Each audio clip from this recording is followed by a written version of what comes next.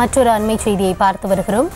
ராமேஸ்வரத்தில் இலங்கை அரசுக்கு எதிரான போராட்டத்தை கைவிட பெண்கள் மறுப்பு தெரிவித்திருக்கிறார்கள். போராட்டத்தை கைவிட மறுத்து கடலை நோக்கி பெண்கள் சென்றிருக்கிறார்கள். இந்த நிலையில் கடலில் குதித்து போராட சென்றவர்களை போலீசார் தடுத்து நிறுத்த முயன்ற நிலையில் போலீசாருடன் பெண்கள் வாக்குவாதத்தில் ஈடுபட்டதால் அங்கு பரபரப்பான ஒரு சூழல் நிலவுகிறது. இது தொடர்பான அண்மை செய்தியை பார்த்து வருகிறோம்.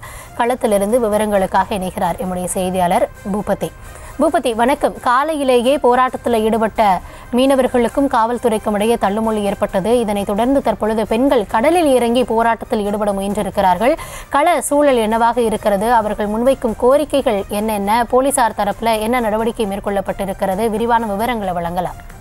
நிச்சயமா வணக்கம் கோதனி ராமநாதபுரம் மாவட்டம் ராமேஸ்வரம் பாம்பன் உள்ளிட்ட பகுதிகளைச் சேர்ந்த மீனவர்கள் மீன் பிடிக்க கடலுக்கு செல்லும் போது வழியே ரோந்து வரக்கூடிய இலங்கை கடற்படையானது தொடர்களை அவர்களை தொடர்ந்து அவர்களை கைது செய்யக்கூடிய நடவடிக்கையானது தொடர்ச்சியாக இருந்து வருகிறது. அது மட்டுமல்லாது அவர்களுடைய படகுகளையும் பறிமுதல் செய்து வாழ்வாதாரத்தை ஒரு உருக்குலைப்பதாகவும் தொடர்ந்து குற்றச்சாட்டு வைத்து வரக்கூடிய மீனவர்கள்.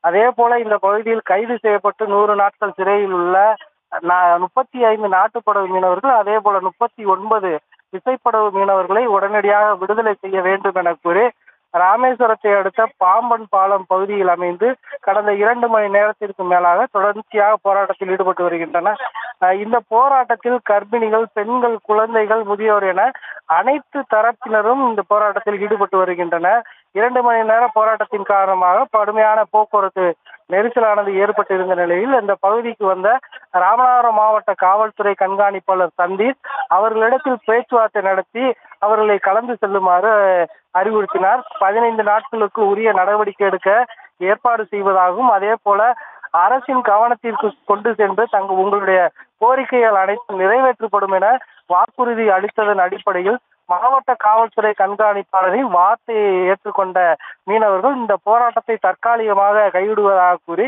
கலைந்து செல்ல முயன்றனர். அப்போது பாதிக்கப்பட்ட மீனவர்கள் குடும்பத்தை சேர்ந்த பெண்கள் இந்த போராட்டத்தை கைவிட முடியாது எனவும் அதே போல தங்களுக்கு தீர்வு கிடைக்கும் வரை போராடுவோம் எனவும் கூறி அவர்களிடத்தில் வாக்குவாதத்தில் ஈடுபட்டனர்.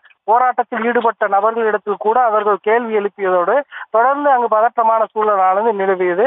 இதனையடுத்து அங்கிருந்த பெண்கள் அருகாமையில் இருக்கக்கூடிய அந்த பாம்பன் கடலில் இறங்கி போராட்டத்தில் ஈடுபட முயன்றனர்.